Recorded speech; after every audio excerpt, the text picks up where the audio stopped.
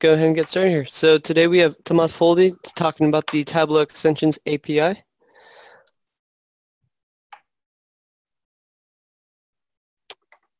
And then today, uh, I am Patrick Byrne. I am on the community team here at Tableau. and with me today is also Patrick Vanderheide, who's also on our uh, Tableau community team. And today we have Tamas Foldi uh, presenting a webinar about the Extensions API. Uh, just a little bit quick history about Tamas. Uh, he has a long history of processing and working with data. Tamas truly enjoys data like nuclear bomb fallout simulations to ethical hacking. Skilled in a multitude from ASM, multitude of languages from ASM, Fortran, C to C Sharp and C++ plus to Python or just Ruby to just name a few. Uh, Tamas has, has been um,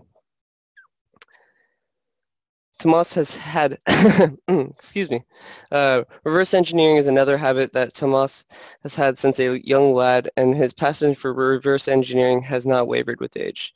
His skills around a computer allow him to develop some highly creative views, Tableau leveraging his little-known areas and tools of Tableau, such as the Tableau Extensions API than from his own LinkedIn profile. Decades of experience with data processing and state-of-the-art programming from nuclear bomb explosion simulation to distributed file systems, ethical hacking, and real-time processing.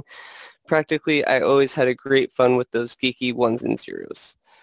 And it's my pleasure to now uh, pass over the presentation to Tamas.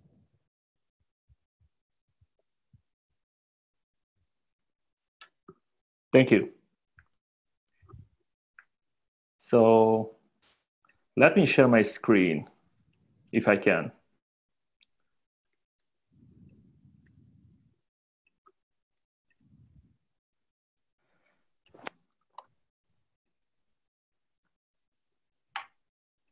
Uh, okay. So welcome everyone. This is Tamas Foldi and today I just like to show you a couple of examples how you can leverage uh, some of the Tableau extensibility APIs like the external service connection and the extension API, which is pretty brand new.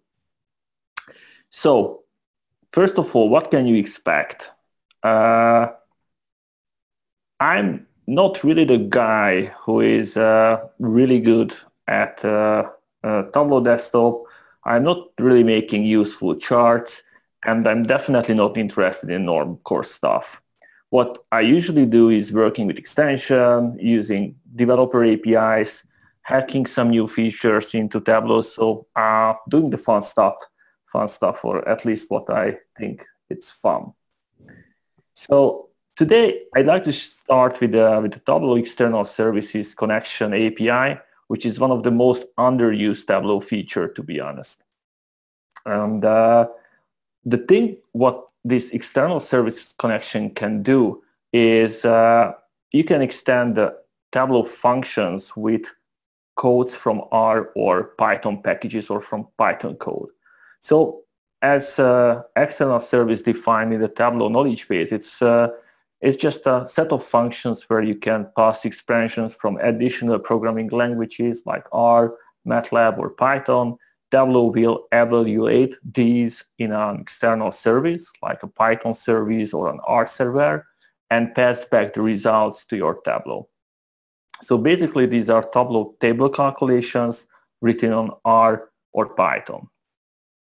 So this is uh, how you should, you know, imagine a, a calculation.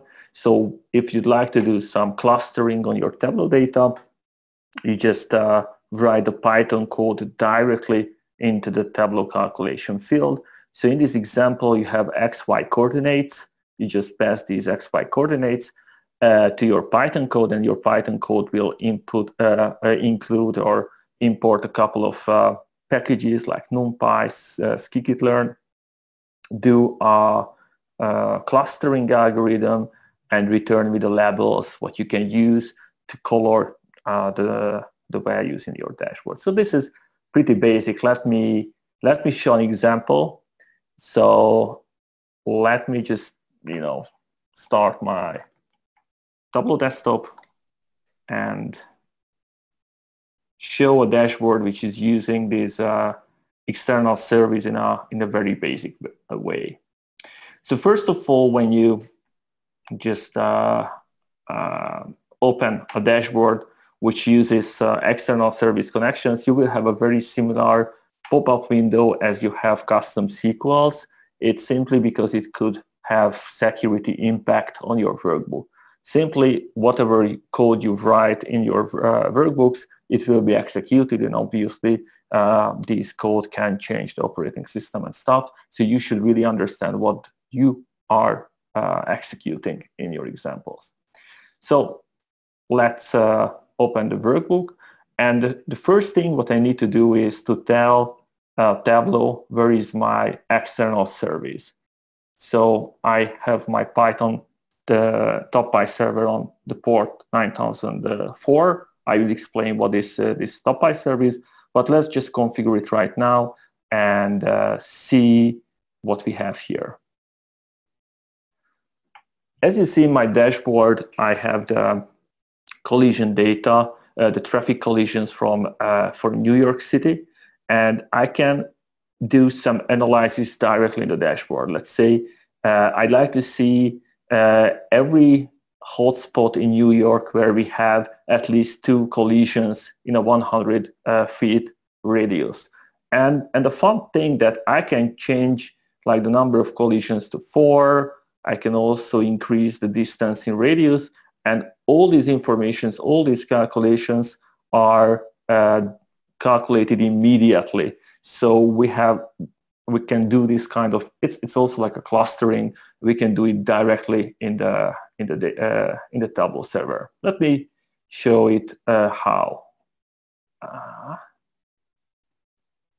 yeah.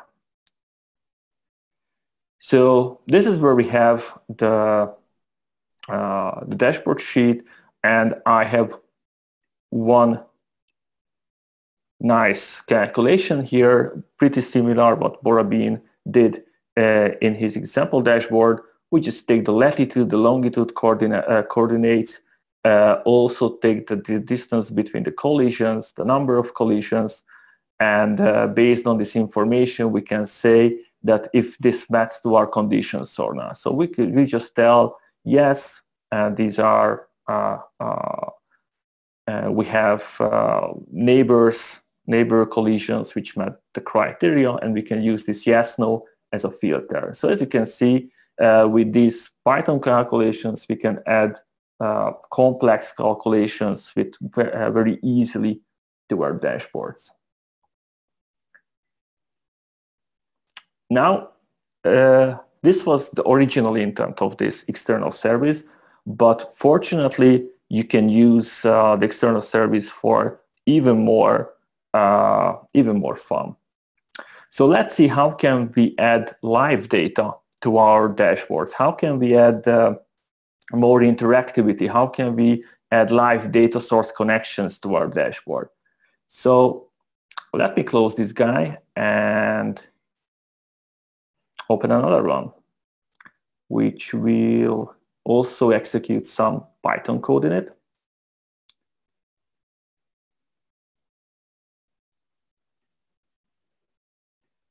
I also have to tell where is my external service. It's the same guy, it's the same port.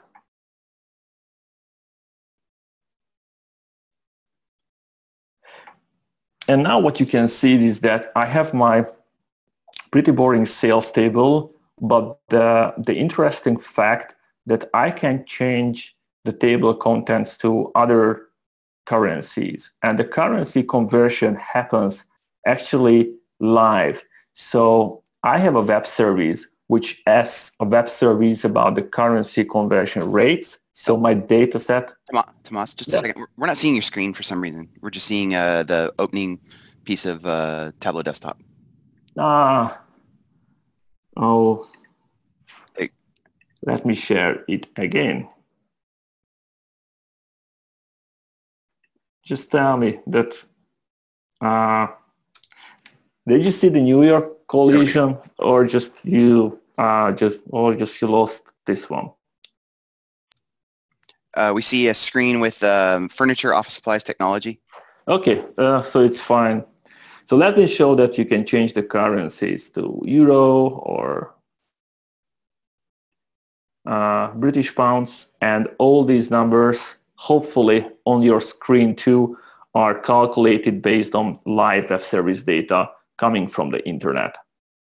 And here, the only difference is that if we check the converted value calculation, then uh, yeah, it's the converted value, which is here. So here we practically call one function hosted on our TabPy server and ask to convert uh, our number from USD uh, to this, uh, so the uh, convert the sales to our target currency, which allows us to add new currencies pretty easily. So I hope that's the Indian rupee. And we see the data in Indian rupee. And uh, again, these currencies are not part of our data set in any way. So the way how it works is you have your Tableau desktop or Tableau server, which has an external services API connector, uh, which connects to a standalone process called TabPy. And this TabPy is an open source project by Tableau. You can download it, and it's uh, obviously free and not just open source. And uh, based, you can just write your Python, uh, Python scripts deployed to this uh, TabPy server, which is a Python server. And from that uh, moment, you can call all of your complex codes. So it allows you to simplify the, uh, the code, the Python code, what you put into your Tableau workbooks and you can reuse the code across multiple workbooks. So it's, it's pretty fun. Going back to the previous example, uh, again, so how we were able to add this live connection functionality to Tableau, we just simply use this much of a code. We tell that we are going to be a TabPy client. I took something from the internet called Forex Python package, which has a currency rates uh, functionality. We tell where is our TabPy server. And here we just say whenever whoever call a convert to function from Tableau desktop, uh, we should call the convert to function. It takes a target uh, and the value, and we just call the get rate function of this currency rate package. So basically, we were able to add web service functionality using some external uh, currency converter tool, and uh, with like five or six lines of code, we added live connector functionality to our, to our dashboard. Let's see a more complex example. So I hope it will work. Let me just close this one and see how can we add even more live data. So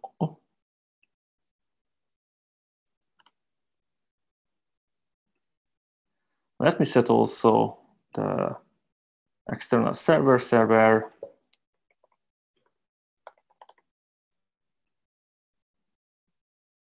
And here, if everything works correctly, I'd like to see everything between these start dates uh, from Twitter where anyone mentions Tableau as a as a search. Uh, I mean, uh, when Tableau as a term just mentioned. I'd like to also calculate the sentiment to see who is saying good or bad about Tableau.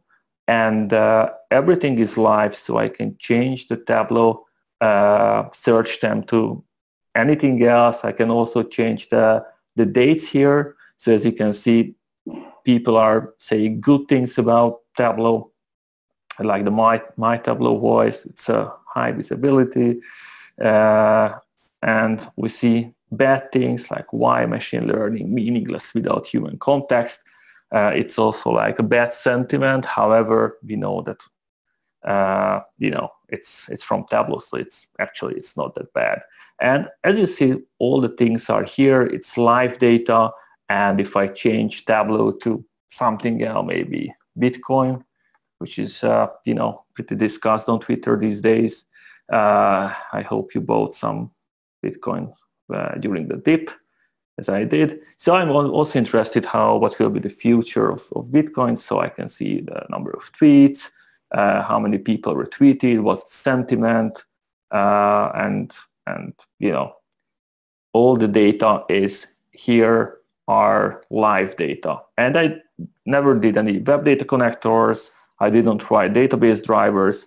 The only thing which is used here is simply external services, and that's how I get my data uh, into my dashboard. And again, if, Tamas, yeah. there was a there's a question from one of the one of the people attending asking about the impact of uh, like a large scale deployment on the TabPy server. So you know, if you had a lot of people hitting that server, what would be the the impacts on the dashboards, and and how would that uh, how would that relate here? Well, the thing is that uh, it it's like your Python code. So you know how you did your, uh, how much resources uh, required to run your Python code, and you just need to multiply it with a, with a number of concurrent requests from your dashboard. So if you have heavyweight calculations on your TabPy server, then uh, yes, you need to scale up your, your TabPy server. Uh, but it's just uh, if your server is not available or slow, then your response time will be slow. It's it's very similar like the database uh, load or the database utilizations. Okay. And, and there was one other question. I'm sorry. Just, yes. There's one other question is is whether or not this works on Tableau Online. Of course, it's not. I mean, I think it's not at least. Uh, I don't think so. Maybe that's the. Uh, I don't think so. 95% sure that it's not. I'm not really a huge Tableau Online user, but uh, well, uh, due to the security uh, concerns, I think it's uh, it's not really working on online.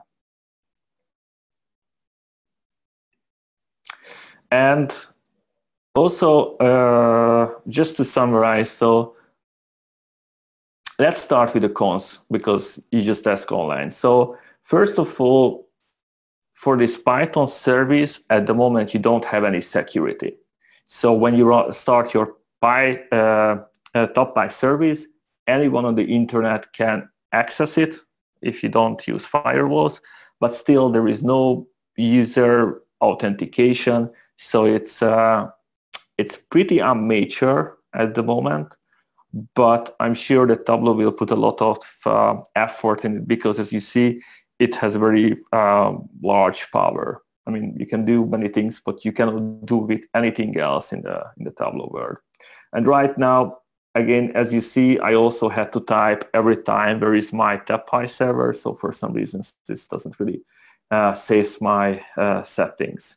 On the other hand, you can do advanced analytics. You can use the power of thousands of R, Python, or MATLAB packages and finally, you can create live connections to custom datasets pretty easily, including web services or uh, unsupported databases without, you know, really uh, doing a lot of development efforts. All right. Uh, if there will be any questions regarding the external services, I'm also happy to answer uh, at the at the end. So let's move forward to the to the Tableau extension part, which was the former project Frelard. If you were at TC, that uh, then you know that uh, this was uh, presented by Ben Lower, and uh, this will open up possibilities to extend your Tableau dashboards with additional visualizations or functionalities. So it will be uh, an additional step to do whatever you want inside Tableau using standard APIs. So what exactly uh, it is? So basically the extension API uh, are is an API where you can access insight from a Tableau dashboard, uh, uh, the data set, the visualization, you can change the filters, the parameters. So it's like having the Tableau JavaScript API inside of a dashboard component. Let me show some very quick example how you should imagine that. Let me just quickly start the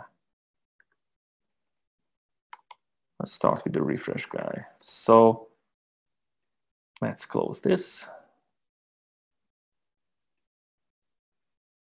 and open a nice Superstore sales dashboard. This is one of my favorite. I can understand what's going on. So I, I do love this. So if you check the new Tableau or the forthcoming Tableau, this is in a beta at the moment. So the, by the Tableau extension, uh, uh, external services are already in Tableau since, uh, I don't know, maybe Tableau 9 point whatever. So it's uh, um, available in every 10th version. This new extensions is something which will be released probably this year, probably uh, the first half of this year, but I'm not a Tableau employee, so I have honestly no idea when it will be released, but it's uh, in beta phase right now, so probably pretty soon. So in this dashboard field, you will have access to extensions, which you can drag and drop into your dashboard canvas, just like any other ordinary sheets. For instance, let me just take this auto refresh example at here and uh, it will refresh my dashboards after a certain uh, amount of time. So after 10 seconds, it will refresh. Obviously, it's an extract, so you don't see anything. Uh, let me quickly fix it. So if I go here to the sheet, why? Thanks. So let's just multiply this sales with a random number. Hmm.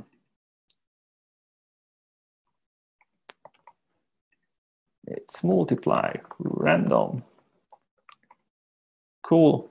So if I go here, then after uh, this time uh, after this uh, time period, when uh, 10 seconds, you know, are done, on the bottom, the chart should be refreshed and it's refreshed. And whenever after you uh, publish this dashboard to Tableau server, the same functionality will be available. So it works not just in desktop, it works in server, it works everywhere. And uh, you can add uh, practically anything which can be visualized uh, as a uh, as a container on, the, on your dashboard.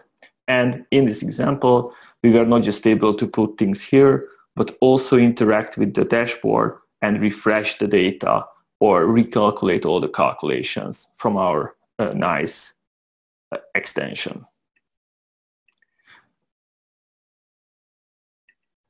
So let's see what else we have here. Let's see this uh, nice uh, brush filter to show like another use case. And this brush filter was uh, basically built by uh, Chris DeMartini, who is uh, one of the best Zen Master uh, from the Zen Master branch. And um, he, he just wanted to fix the, or extend the, uh, the usability of the date filters. So let me just quickly show what he did. It was like, uh, I have to found this pagination externalities the the brush. This is it.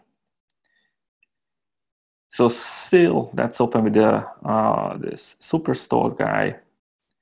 Let's pick uh, the same dashboard. It should work everywhere. I hope it will work here too. Put this uh, nice dashboard component here. We can check uh, the uh, X field. We can also show that, change the, or set the other. And now if I change here the date filter, obviously the other part of the dashboard will be refreshed too. Let me just, uh -huh. if I can just show this stuff on the bottom as well. That would be awesome. Yes. So let's change the filters here. And as you see, it's pretty smooth and the user experience is much more tailored.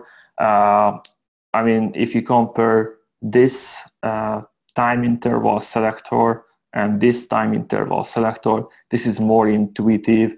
And uh, as you see, it's also configurable. I was able to select when I just dragged my extension what needs to be shown here. So the extension, uh, using this extension API, we can add configurations and all these configuration values can be written back to the dashboard definition. So next time if I open this dashboard, it will remember that my selection was order date and, and sales for the brush filter.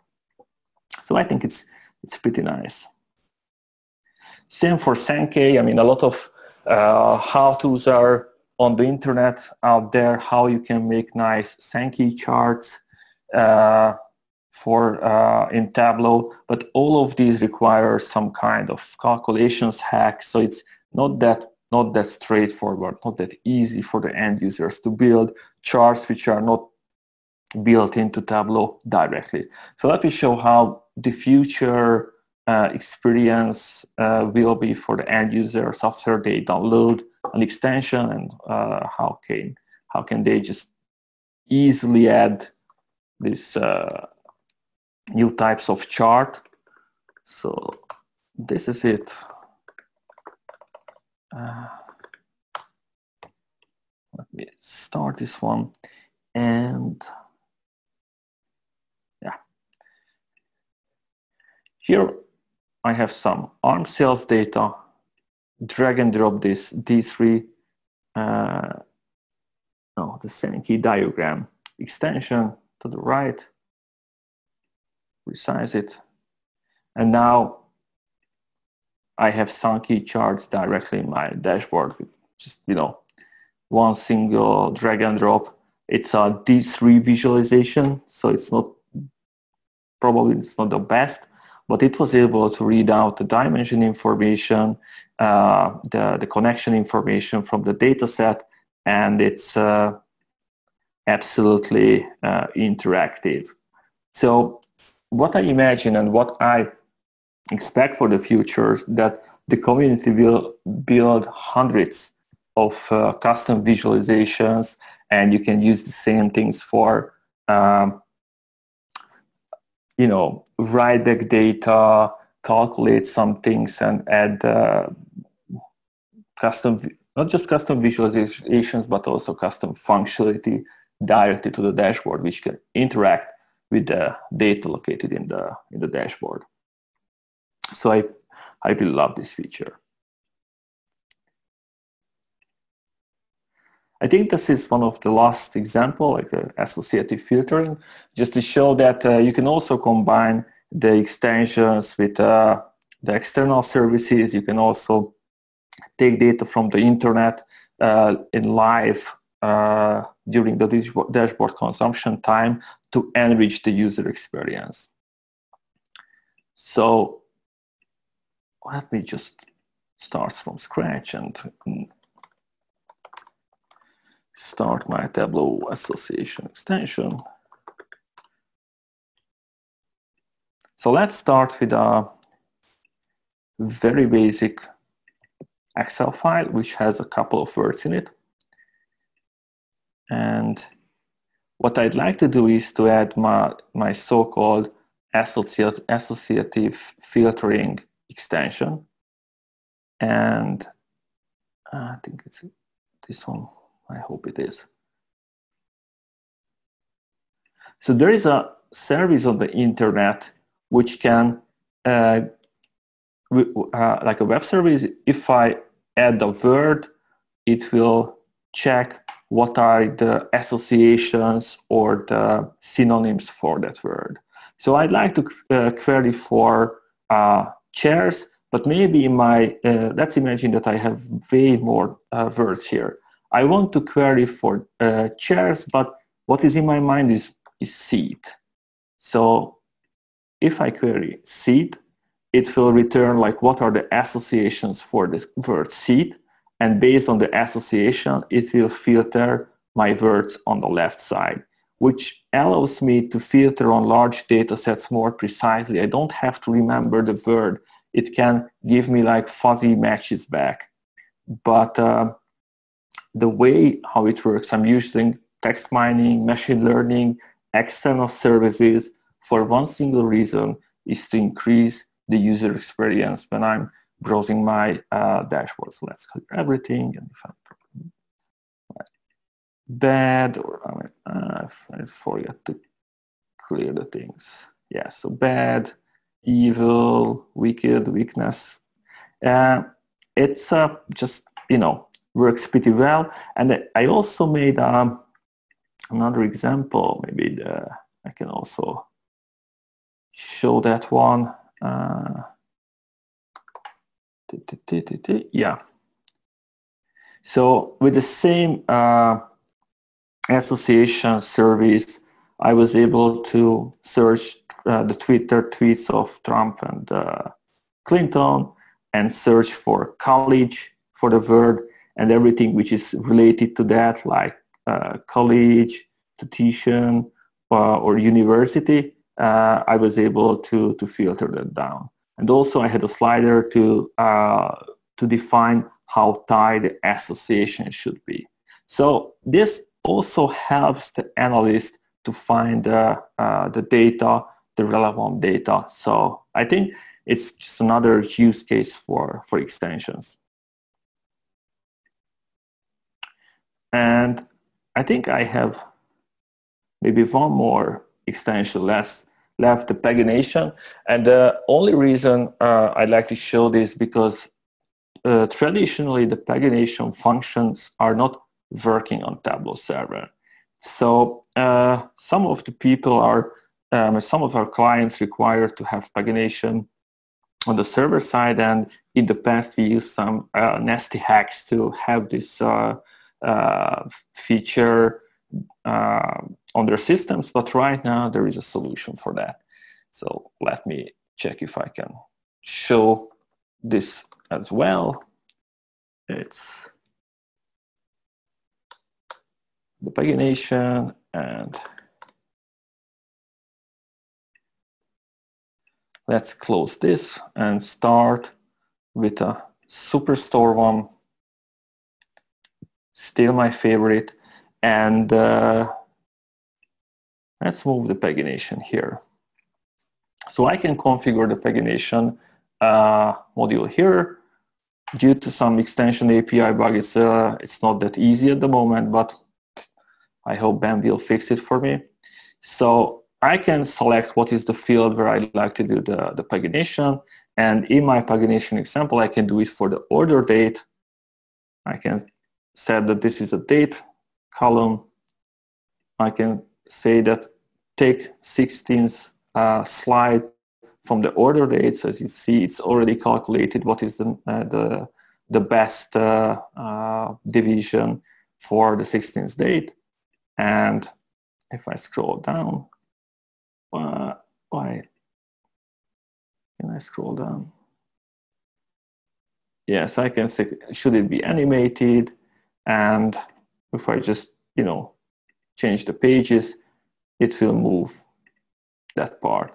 And I can also do this uh, playing feature. And since it's an, it's an extension, actually it works also on the, on the server as well. Let me check if I have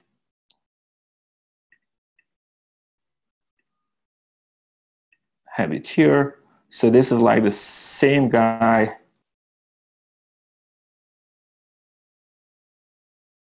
with the same extension. I can also check this, add as a date, and do the pagination on my nice Tableau server. So as you see, it works pretty much in the same way as in, uh, in my Tableau desktop. So adding features which were missing from Tableau server are also pretty easy. So it's really about your creativity, your user's requirement. Practically, you can do everything.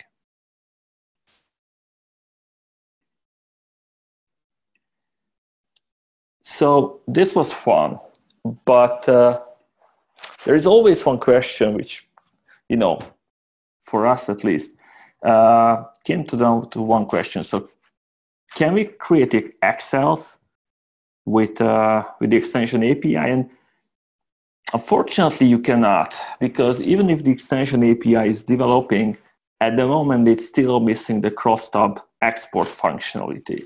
So as you see, someone just you know, opened this already. We have a nice GitHub issue for this feature request, but it's not implemented yet, even if we need this badly. So there is always solutions for the meanwhile. So let me show with my other so-called web data connector hack, how can you add Excel export functionality with a very similar way how extensions work. So let me just open this nice Excel worksheet. This is the same Superstore guy, but here I added like another extension, which is not a Tableau extension. This is our, our extension format. And if I just press the button here, it generates a nice Excel sheet. And if I open it, I have all the worksheets inside the dashboard in my Excel in the same cross-tab format. So this is, I think, one of our best-selling consultancy stuff. Everyone likes Excel. Everyone needs Excel. But at the moment, you cannot really do it with the extension. But uh, I will share the link. Ask for that functionality, and you will have it. So actually, that was all. So if you have any questions, uh, maybe you have, I'm, I'm more than happy to answer uh, anything.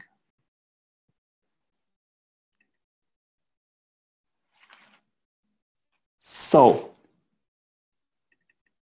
do we can send email from TabPy when some dynamic conditions met? Hey, hey, Tomas? Yes. Yes, we have a couple of questions in the Q&A that uh, mm -hmm we should address here. Uh, one is um, about uh, using the TabPy API to do some uh, sending out like emails uh, when a dynamic condition is met. Yeah, you can. Uh, so Tab, yes. So you can pass the values to TabPy. It can understand uh, the data, check for the changes, and send the alerts or emails if necessary. So definitely it's something what you can do. Okay, and then we have another question uh, asking about actually starting the extensions uh, or enabling them. Uh, they said you're running a start.sh each time. Yes, uh, so these uh, extensions usually are static HTML and JavaScript files. So in most of the times, the start age as uh, sh just really starts a static server. So here if I go here and check my nice start sh, it calls a very simple HTTP server on port 8080. So it's just uh, like a, a, static web page. Usually you should have one single repository where you show uh, where you publish all of your uh, static like HTML files. However, some uh, extensions can also have some server backend like uh, the extension will take data, uh, read it from the Tableau dashboard, pass it to the backend. So one of my example, which was the association example, I had a backend which checked these uh, associations. So uh, most of the time, static web hosting is enough.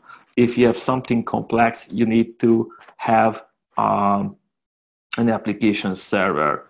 And I'm just lazy to type this, you know, during a, a screencast. Can, can we use Python 3 with Tableau Desktop? I don't think so. Actually, no. You cannot.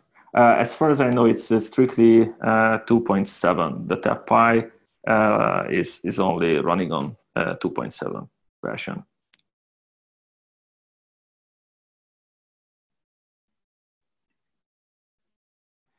Hopefully you do not need an external server for this. Yes, it can be done in pure JavaScript and you don't need an external server. It's uh,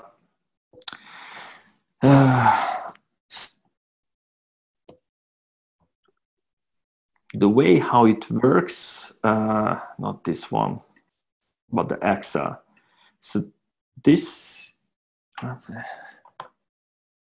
good thing starts when you start on inspect in your browser. Now, this guy here is an iframe. and uh, hopefully I can, you can see it here.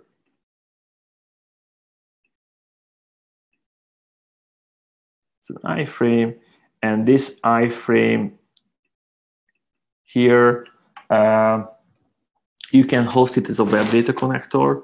And if this HTML iframe, which is a web frame, uh, let me start from the beginning. So let's imagine that you have an HTML file which is published as a web data connector. When you publish or uh, import a web data connector in Tableau Word, it will be uh, imported to your gateway server. So your web data connector will have the same host name as, the, as your Tableau server. As long as it has the same host name and you import it to your dashboard, when Tableau renders it, your nice HTML frame can go to your parent frame, its parent frame, and use the Tableau JavaScript API to get all this information. So the way how it, this Excel works is that it's published as a web data connector and uh, uh, the way which is uh, documented on my blog, uh, it accesses the data, the cross-tab data for the dashboard and generates the Excel using a client-side library which creates the Excel in your browser. So that's how it works. It's in pure JavaScript.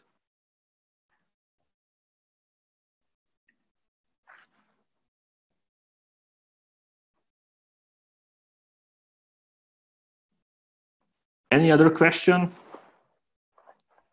Yeah, we have one more question from chat earlier. Uh, they're asking about the difference between uh, like the Tableau R integration and using the TabPy. So uh, the R, these are very similar. The, the, way, the, the reason why we have this uh, TabPy server is uh, because Python doesn't have a, a server like R server. So Tableau first added the R integration using the R server protocol. And then just to reuse the same functionality, uh, the R integration, they build uh, they uh, build uh, a wrapper between the Python code and the R protocol. So Tableau using the R server protocol or something similar to access uh, uh, this uh, TabPy server and, and TabPy just executes your code. So that's the that's the history.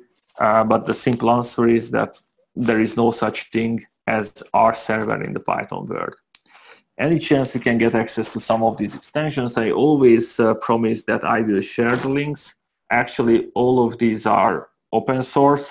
I just always forget to do that. Uh, but this time I will not forget. So we have all, all of these stuff here. And if Brian will be pushy enough, I will send him the link so we can put it into the Tableau community.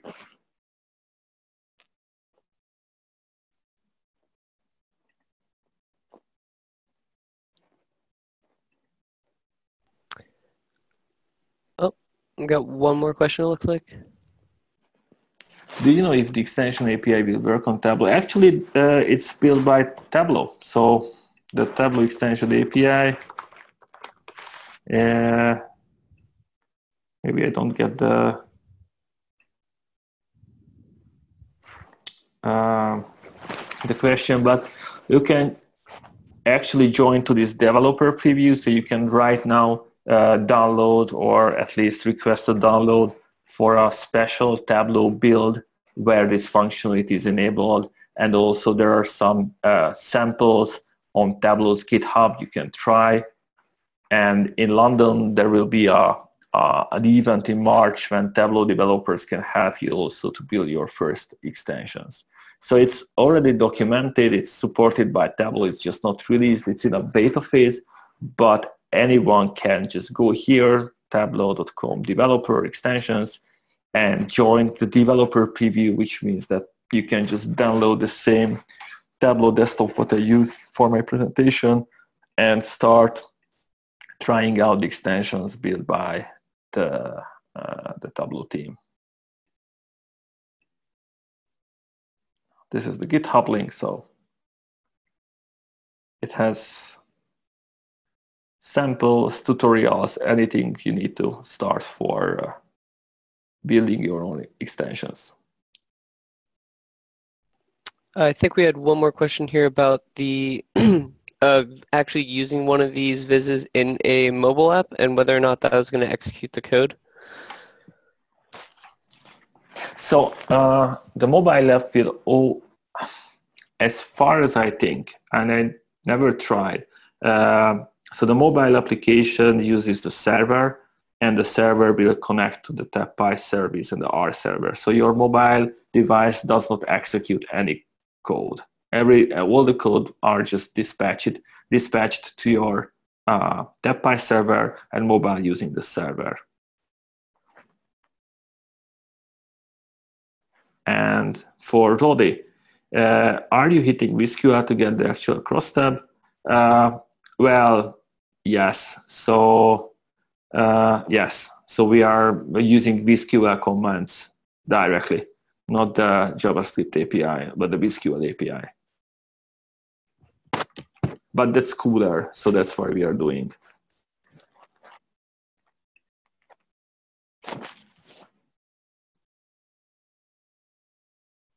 Okay. Uh, any other question?